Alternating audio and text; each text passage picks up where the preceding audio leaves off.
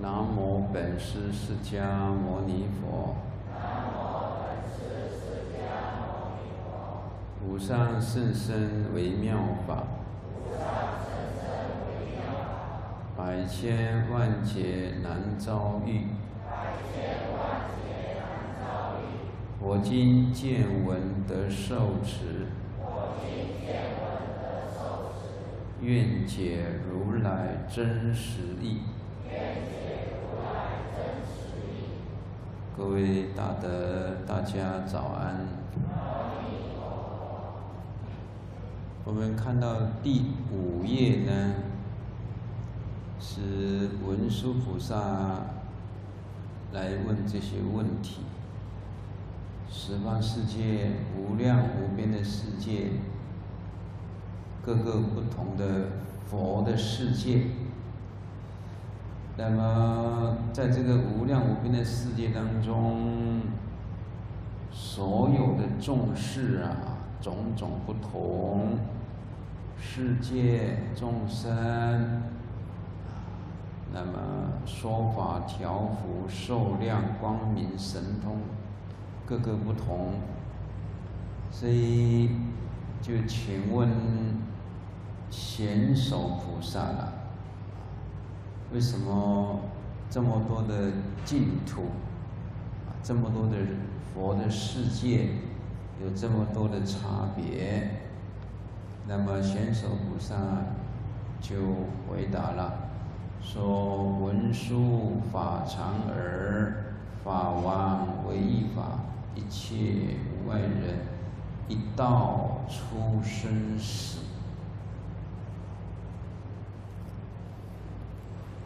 十方的佛都是一样的，福慧圆满了，三大阿僧祇劫修福修慧，然后百劫众相好，这些功德圆满了，才能够成佛。但是各个佛有各个佛的愿力不同，比如说。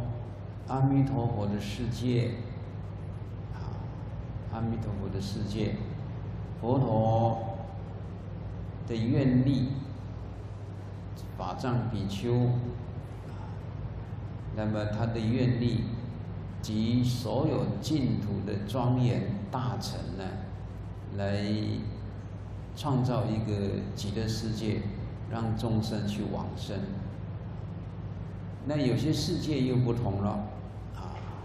这个，比如说药师净土、东方阿初比佛不动如来也有的净土，各个十方世界是各个不同的。那释迦牟尼佛是发愿来这个世界，在《梵王经》菩萨戒里边呢，就讲到。释迦牟尼佛来到这个娑婆世界，已经是八千往返了。来这个娑婆世界呢，来利益众生，来度化众生，来还这个愿，已经是八千次的往返啊。所以，释迦牟尼佛成了佛。不是无所事事的进入涅槃，不是这样子的，而是说他的智慧、他的悲心、他的愿力，度尽一切众生而无一众生可度。啊，我们看他忙忙碌碌的来到这个世间，然后老了、病了、死了。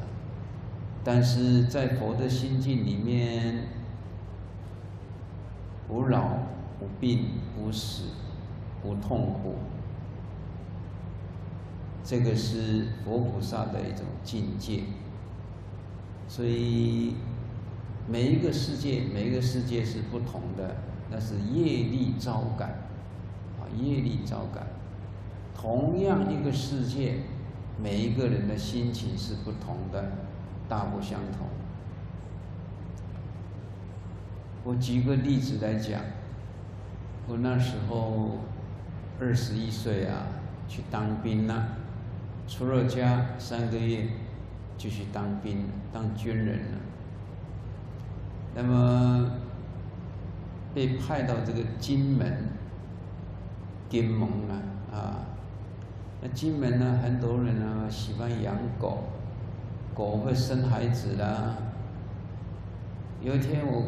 看到很奇怪，这个小狗它会排泄啊大号，可是这个母狗呢就把这个大号呢吃的干干净净。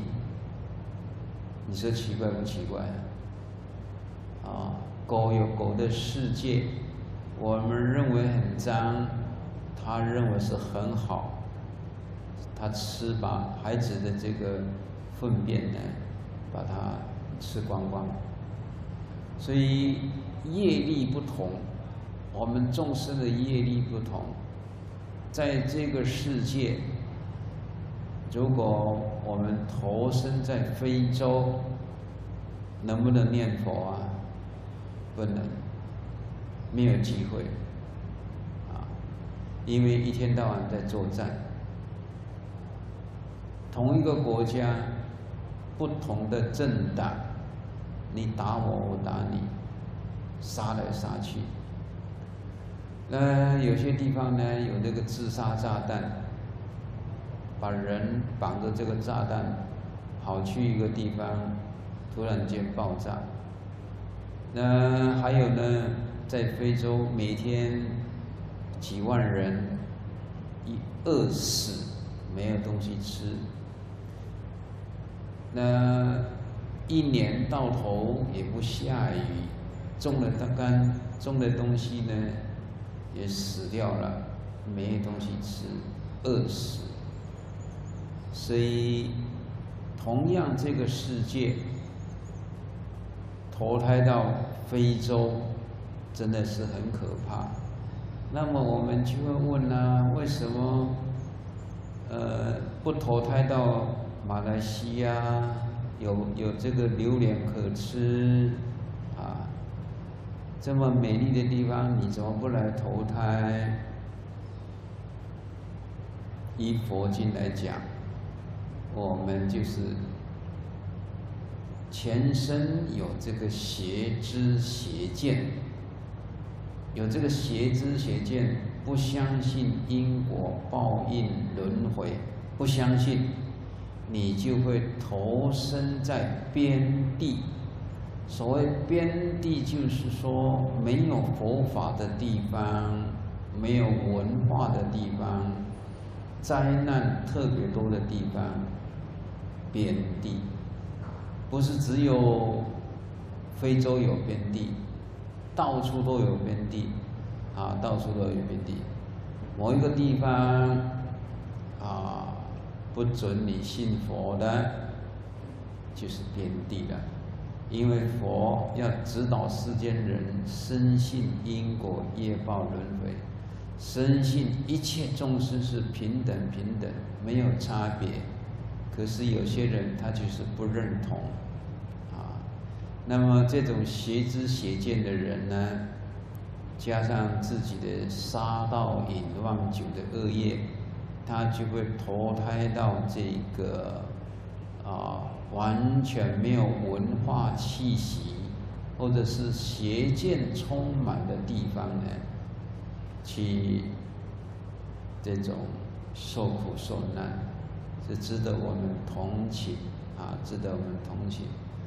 同样在非洲这几年也有佛教在那边建佛寺啊。所以有福报的人，虽然是在非洲，他也是照样有那个善根呢，来亲近三宝。那么我们这个世界，我们这个世界叫做娑婆世界。娑婆世界呢，我们分成堪忍的世界，就是这个世界许许多多的灾难，小山灾、大山灾。比如说瘟疫、饥荒刀兵啊战争之类的，然后大山灾呢，水灾、火灾、风灾、地震、海啸，这是大的这种灾难。虽然有这么多的灾难，但是我们人类的智慧会想办法去克服、去预防，那就是需要透过宗教的引导我们向善、向光明。那既然世界上这么多的宗教，可是为什么人类还是这么多的灾难呢？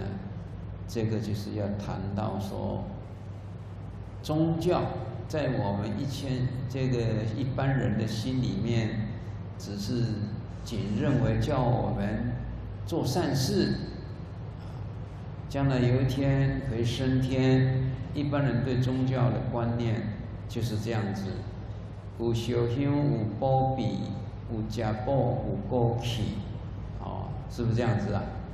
一般人认为是这样子。我烧香烧冥纸，那我就保佑了。一般人的观念是这样子的。那么许多人对宗教的理解，仅止于礼恶向善就可以了啦。可是佛法呢，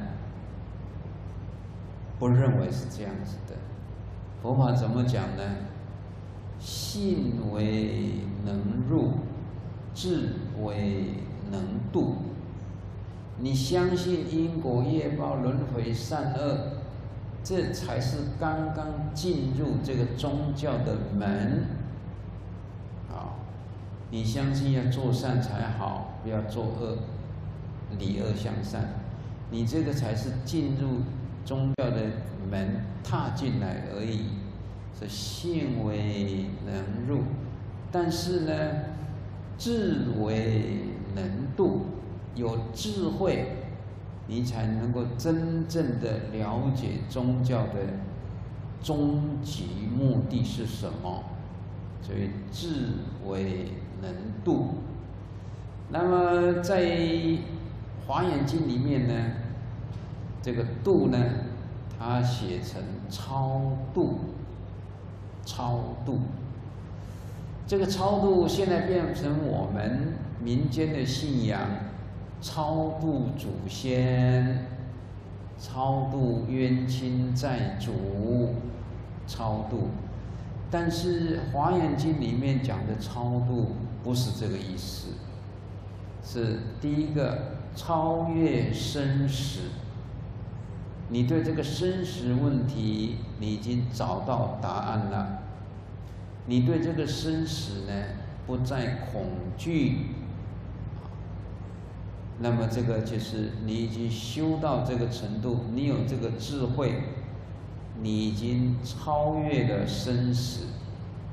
那么以现代的我们一般心理学家的研究，人类只要你有对这个生死产生恐惧的话，你就不是一个正常的心理，不是健康的心理。拥有健康正常心理的人，已经对这个生死呢，这个阴影已经没有了，对生死这个不再可怕，不再恐惧了。所以我们讲这个超度的超，是超越生死。那么度呢？啊，度呢？度脱你的烦恼，度脱你的烦恼。我们内心里面许许多多的不良的这个心理因素，贪爱、嗔恨、愚痴，啊，疑心疑鬼，疑这个善恶，然后呢，这个共高我慢、懈怠、懒惰。然后那个心呐，七上八下，叫做调局；要不然这个心呢，昏沉。所以我们心里有这么多的烦恼，我们度脱了，度脱了这些烦恼，这是佛陀要留给我们世间人最高无上的一种福音，就是怎么样让我们的生命超越了这个生死的困惑，度脱了内心的那种不良的心理因子，使生命呢。每一时每一刻都是光明、慈悲、喜悦，那么安详自在，这是佛陀对对人类最大的一个贡献。所以这个地方讲到法王为一法，一切无碍人，一道出生时。这个一道是什么呢？就是般若道，般若道就是智慧。佛陀不是仅仅劝我们行善布施，获得人天的这种衣食无缺、这种丰富的生活的果报。佛陀最终目的就是要我们了生脱死。解脱烦恼，超越这些烦恼，度脱这个生死，这是佛陀留给我们世间人最大最大的这个福音。所以我们信佛学佛的人，你也参加八关斋戒，你也念佛，你也诵经，你也拜佛，你也做善事，做义工。可是。烦恼还是烦恼，就是我们没有修出智慧来了。这个智慧呢，形容成什么呢？叫做光明。在黑暗中摸索，容易跌倒，容易这个恐惧。所以总说一句：我们只要是起烦恼。那就是表示我们还没有修到智慧。那如果我们去造成别人烦恼呢？那就是不慈悲，没有慈悲，你使别人烦恼，就是没慈悲啊。那么使自己不烦恼，也使别人不烦恼，那么你就是跟佛陀慢慢的会相应了。因为什么呢？有智慧，有悲心，所以我们说皈依佛两足尊。佛陀的人格就是智慧圆满了，慈悲悲心呢，这种福德也圆满了。这两种圆满，我们就叫做皈依佛两足尊。道理是这样子的，所以。不要以为我念念佛、持持斋戒、做做善事，我就没有烦恼。烦恼不是呃靠这些有为的事功能够解决的，一定要靠戒、定、慧啊，从持戒，然后修定，然后呢才能开智慧。所以这个地方呢说一道出生时，这个一道呢就是般若道，啊般若道。般若道我们分成两种，一种就是纯粹的般若，啊破除我执我见，那么这个是一种般若道。但是还有一种叫做般若波罗蜜，般若波罗蜜呢？就是这个这种般若智慧呢，它还是充满着悲心、慈悲喜舍那种悲怨结合在一起，叫做悲之交融啊，融交融，悲之交融，他的智慧当中充满着感情。感情当中充满着理性，悲之交融，我们称为叫做大圣般若啊，大圣般若。如果你修无我，破除我执我见，你断了生死，可是你对这个众生啊，你从来都没有去感觉到说这些众生是我累生累劫的父母兄弟，我应该去报恩。那你同样可以了生死，但是没有办法福慧圆满，没有办法福慧圆满。这这个是讲到这个一道，让各位了解，就是专门讲智慧才能够了生脱死。那要了生脱死怎么办呢？就是对烦恼下手啊。反对烦恼下手。接着我们看这个经文呢，说一切一切啊，我们一起念好了。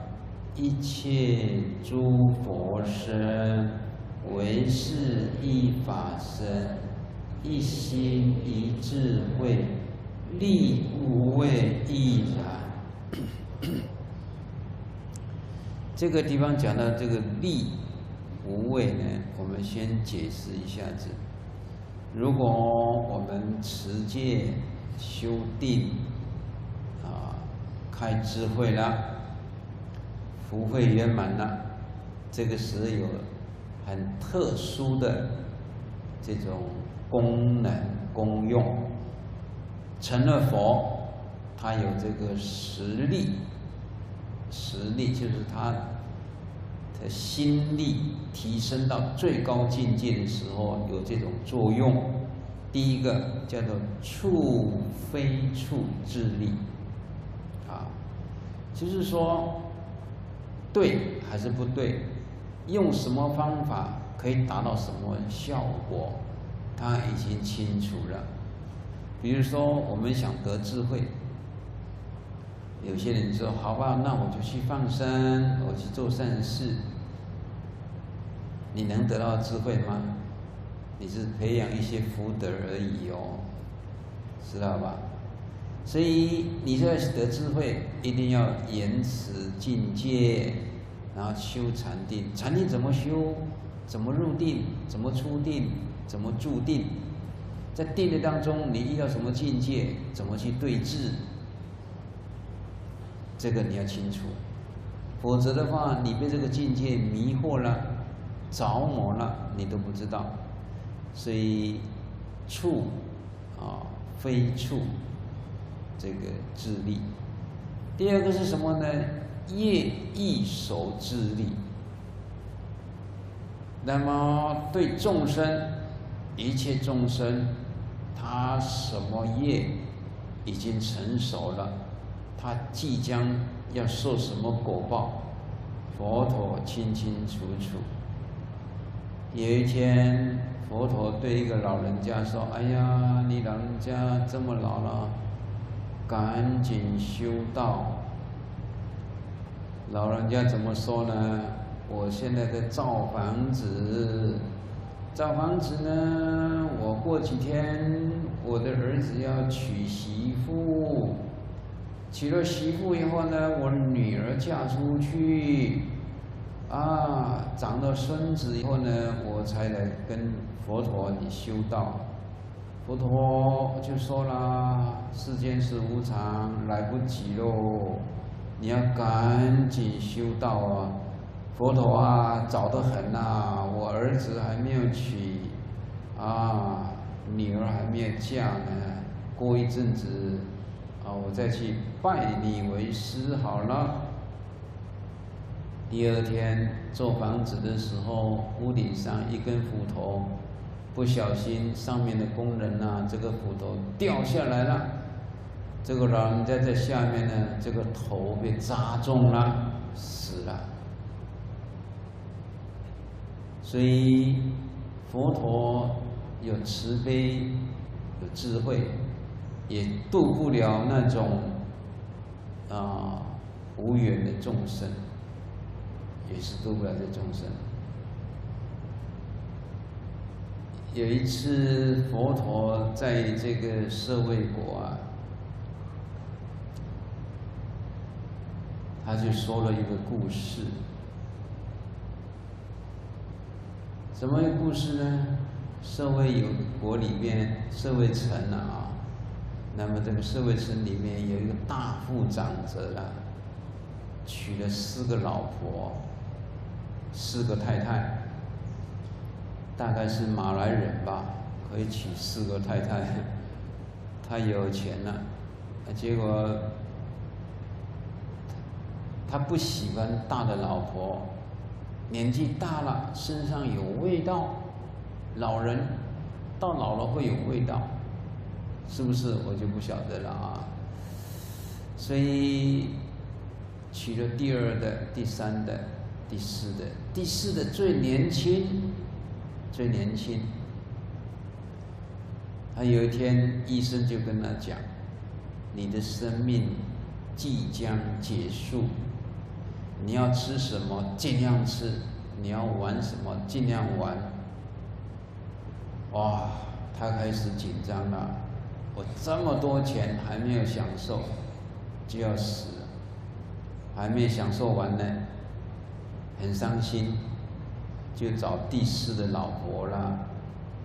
哎呀，我平时买的那个钻石啊，几克拉几克拉，那个最大的那个送给你。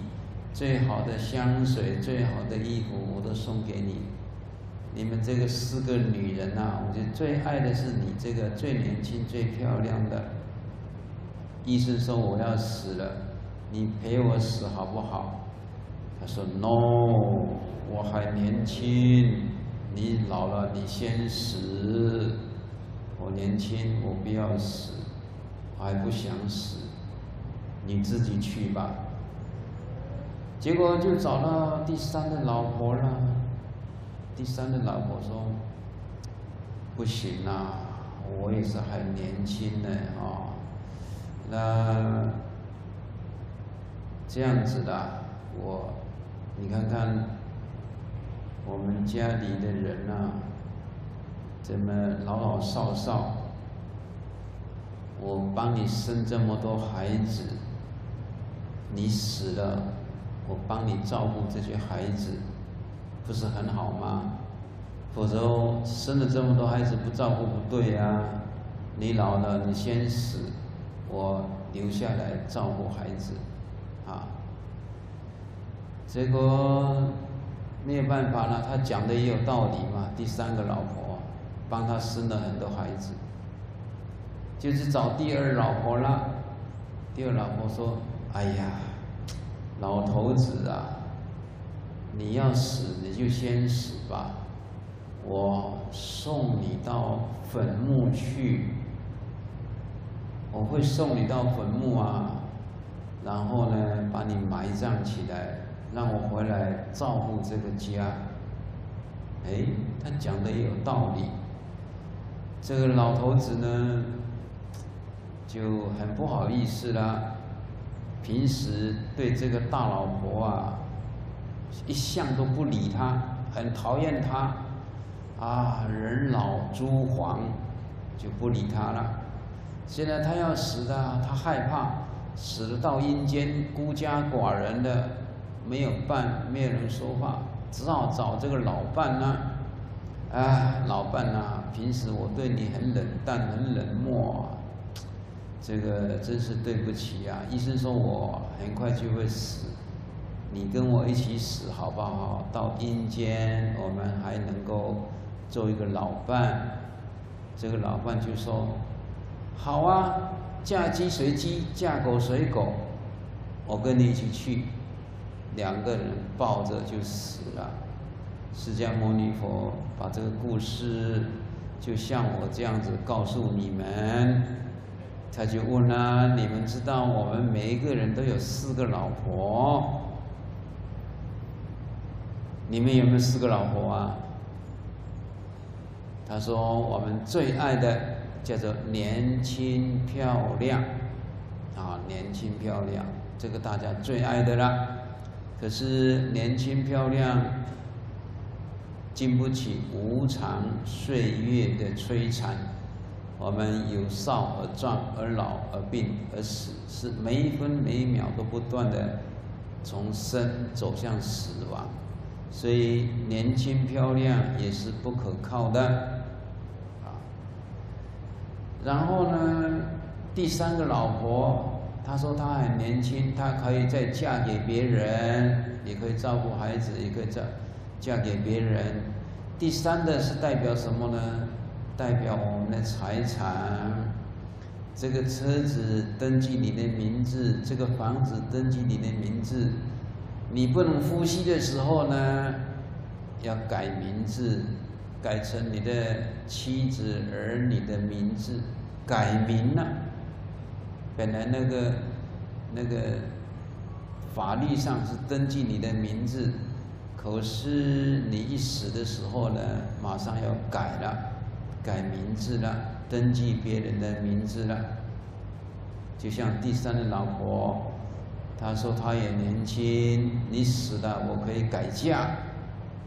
第三的老婆代表财产，啊，第二老婆呢，至亲骨肉，他不能替你死，至多啊一把鼻涕一把泪，哎呀你好走吧，啊安息天国吧，把你放在棺材，啊送到坟墓。埋葬起来，至亲骨肉也没办法替我们解决这个生死的问题。大老婆呢，愿意跟他去。大老婆就是什么呢？我们日常生活当中，身口意三业是善是恶，你讲的话，你做的事，你心里所想的。这一切一切呢，《华严经》怎么讲呢？我们每一个人一生下来，一个叫做同生，一个叫做同名，整天都在记录我们心里所想、嘴巴所说的、手脚所做的事。那个东西呢，我们给它三个字。叫做黑盒子，黑盒子知道吗？飞机在飞的时候，它有一个记录器，啊，这个记录器记录里面的人讲的话，记录这个机器什么地方坏掉，所以会失事。但是马航掉到海里，黑盒子有没有找到呢？没有找到。有没有黑盒子呢？有，但是找不到。海这么大，怎么去找？可是人很奇怪，人每一个人都有一个黑盒子，这个黑盒子记录了我们说的每一句话、做的事、心里想的、所学习的才能、所养成的习惯，全部都记录在这个这个黑盒子里边。啊，到时就根据这个黑盒子呢，去投胎转世，业力，业力呢，善业多，投生好的家庭；恶业多，投生到贫困的家庭。然后恶业重一点呢，投生做阿狗阿猫，就这样子的。所以佛陀说，我们每一个人呢，就是随着业啊，随着业来转生转世。有些人这辈子出生以后呢，很有钱；有些人出生又很穷困。啊，有些人很奇怪。那个韩国有个孩子啊，八岁，他会写英文诗。三岁的小孩子在美国开画展，啊，所以每一个人每一个人天赋不同，所以人生是无常，但是我们可以好好的学习很多的知识，很多的智慧。各位前辈子受过关关斋戒，这辈子又重新再来，知道吧？就是这样的因缘。所以，我们这里讲这个讲一道出生时，一切诸佛身为是一法身，一心一智慧，力无畏亦然。因为我们智慧不够，所以我们没有实力，十种力。那佛陀有十种力，啊，十种力，不但还有十种力，还有四种无所谓。四种无所谓是什么呢？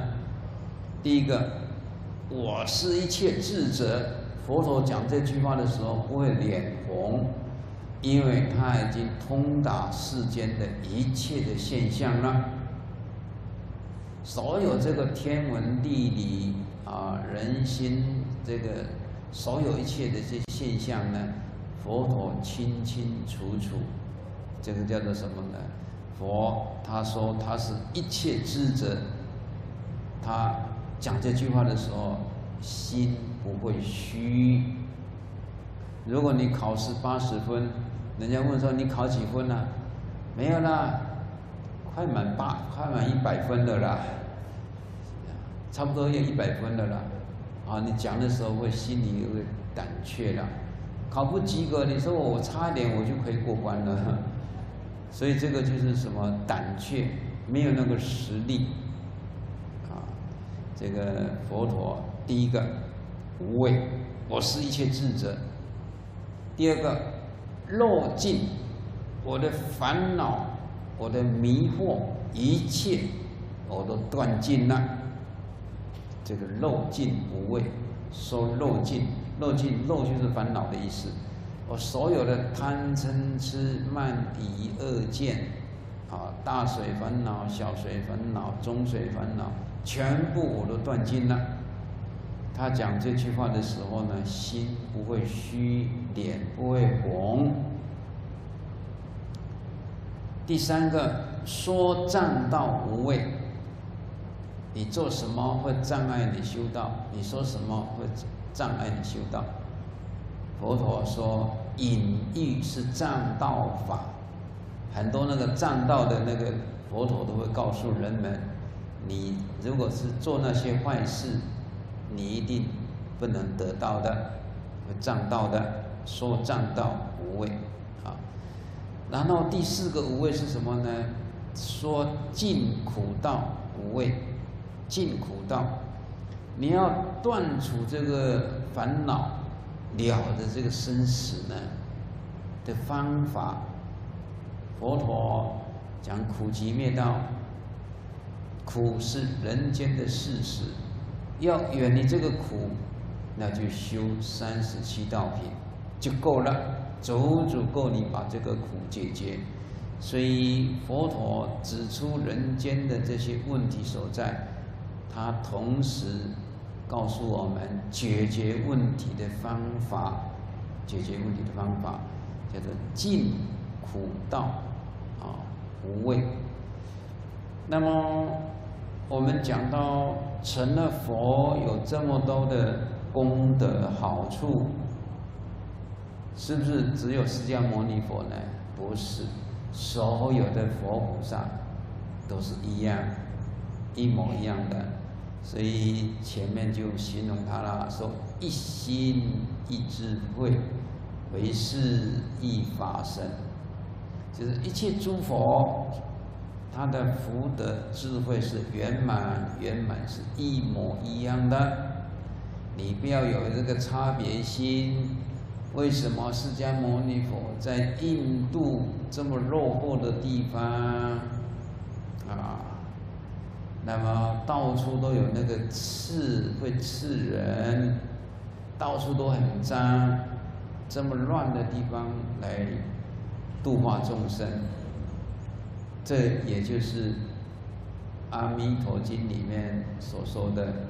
十方诸佛称赞释迦牟尼佛能于娑婆世界的阿耨多罗三藐三菩提，这是一种悲心悲愿。这个世界大家的业力这么大，佛陀的神通也不能改变这个业力。有人说佛菩萨这么慈悲，菩萨你有神通，《大宝积经》里面怎么写的？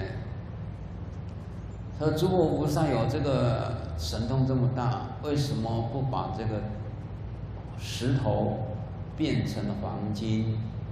让我们大家都衣食丰足。有人就问这个问题了。是啊，没有错。释迦牟尼佛他说他有办法把这个石头变成黄金，可是呢，众生有没有这个福报呢？他有这个业力呢？他万一房间很多呢，他就懒懒散散不做事，所以还是让他受点苦，让他努力自己的创造。我们这里有一尊那个土地公，是不是？前面呢？那有一个地方乡下地方呢，他那个土地公呢，还有土地婆，知道吗？啊，两夫妻坐在那边呢。有一天，他们就在对话了。土地婆就说了：“哎呀，你这个土地公啊，人家来拜拜呢，你就赐给他一点财。啊，那个穷人呢，也没有办法去买那个鸡了，杀来给供养啊，你就没有拜，你就没有保佑他。你这个心呐，不公平。哎呀，老婆啊！”你看看嘛，明天早上有一个人会骑马，这个人做很多善事，这个人啊是一个长者了，他骑马出来运动运动。你看看好了，好了，他就把这个石头抓起来，变变变，就变成那个黄金了，他就丢到那个草堆里面去了。丢到草堆里面去以后呢，这个长者骑马，骑马，哎，经过那个地方呢，那个马就停下来了，停下来，他就吃草，一吃草的时候，哎，咔，咬到黄金了，它就不吃了。这个主人看，哎，这个马怎么咬着东西不放呢？你怎么吃草咬到嘴巴不放呢？它就吐出来，原来是一块黄金，这样了解吧？这个有钱人啊，有福报的人呢，拿了黄金带下去了，回家去了。隔一天，这个土地公啊，就拿了一块大石大石头呢，啊，变变变，变了一块很大很大块的黄金呢。一大早，天还没有亮，就丢在那个路上。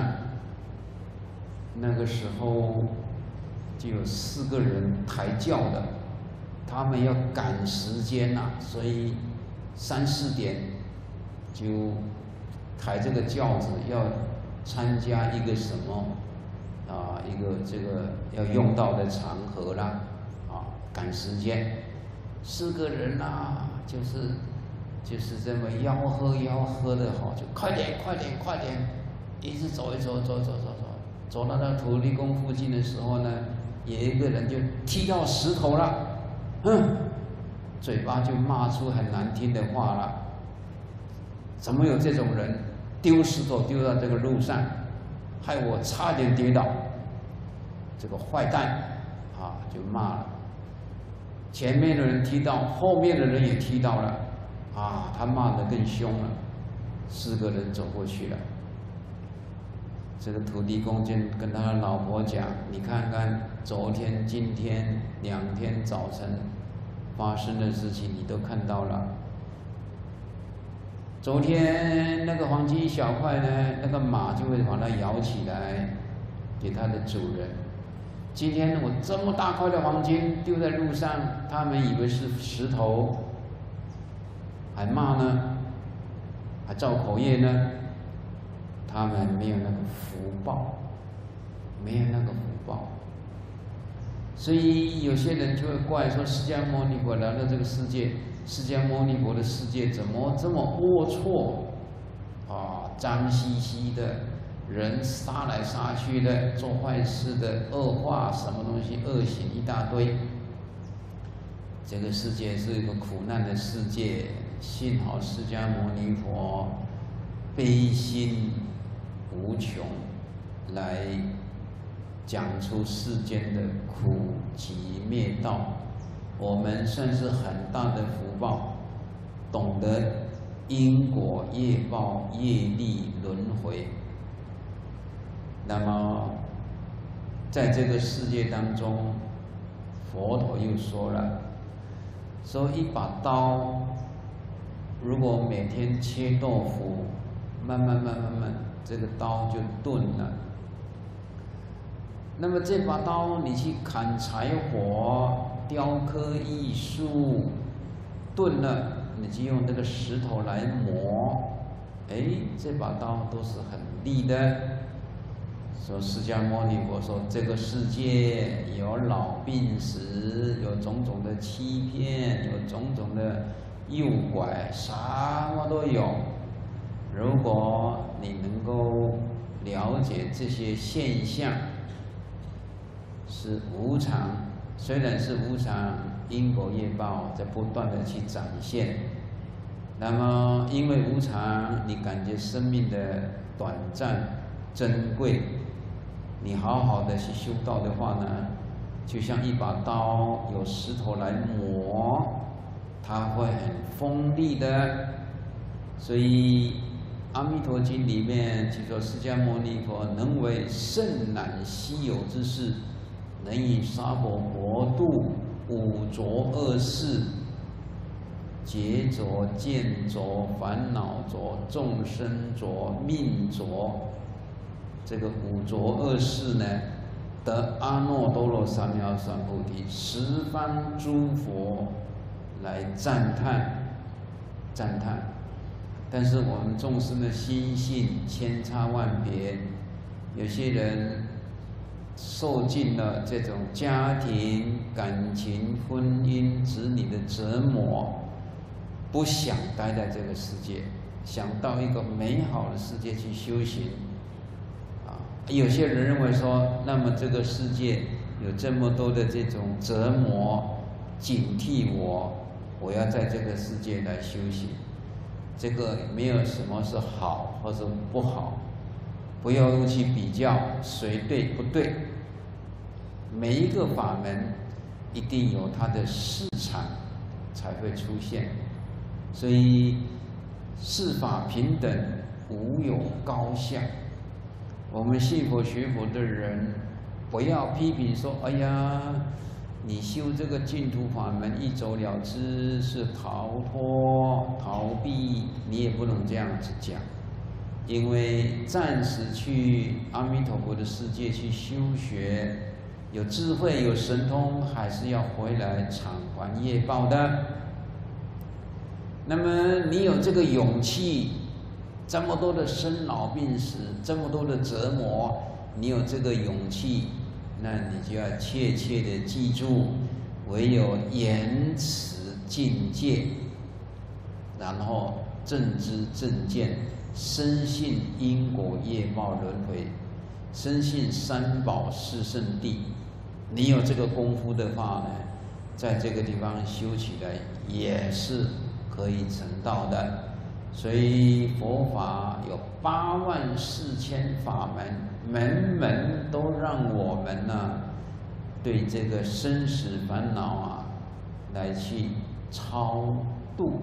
啊，超越了这个生死烦恼，度脱了这个生死烦恼，是超度超度。我们要弄清楚，是超度我们的生死，超度我们的烦恼。唯有这样子的话呢，你的子祖先才能得到受益。如果你不了解这个意义的话呢，你去造恶孽。这个祖先呐，在天之灵呐，他在掉眼泪。你买再多的猪头、羊头、三牲五畜去拜的话呢，增长他的业报而已。啊，但是你为什么不用素的来拜我？你又杀生，我前辈子就是喜欢杀生，所以我现在堕落成恶道了。你现在又在杀生去供养他的话呢，这个业障他要挑的。其实我们拜来拜去是拜谁啊？拜我们这个五脏庙，是为了你要吃，所以买这些来拜。借着这些祖先的名义呢，啊，拜拜拜到最后就送到你的嘴巴去了。所以这个众生叫做无明，没有智慧，没有智慧。我们现在休息一下，愿生西方净土中，九品莲花为父母。花开见佛悟无生，